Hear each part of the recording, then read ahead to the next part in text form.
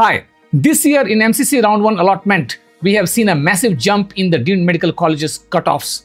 Just to share with you some example, Sri Sathya Sai Medical College in Kanchipuram, last year they had given a seat at 13 lakhs range, 13 lakhs rank. And this year they have closed at just 6 lakhs.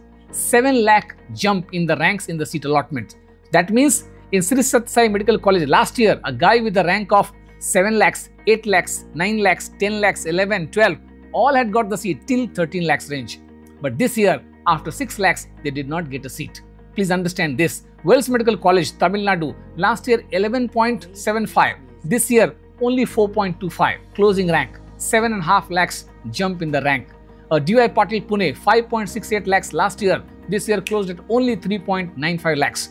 1 lakh 73,000 almost jump in the rank. So almost out of 55 deemed colleges which participated in counseling, 51 of them have gone for a jump. Among the four colleges which went for lower rank, there, for example, JR Medical College, which went for one and a half lakhs drop in the rank, they had increased their fees last year by 8 lakhs, from 18 lakhs to 26 lakhs. This may be one of the reason.